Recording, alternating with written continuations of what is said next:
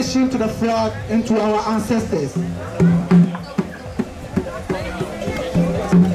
That is, that is, that is our part of our tradition.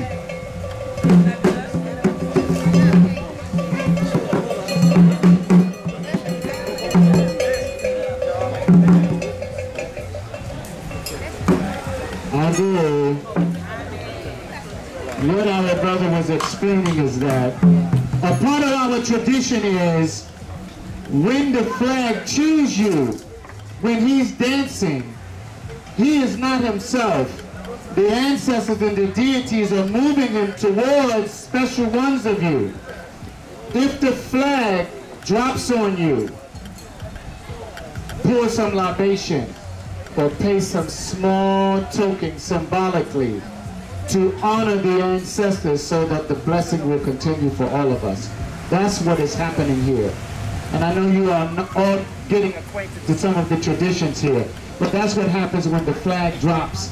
It means that he was led by spirit and deities and ancestors to find you. And something is there with you and these deities. Ago Ashelo.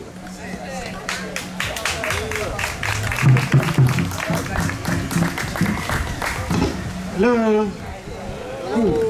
So now our next performance is also called Kete. Kete from Eastern region.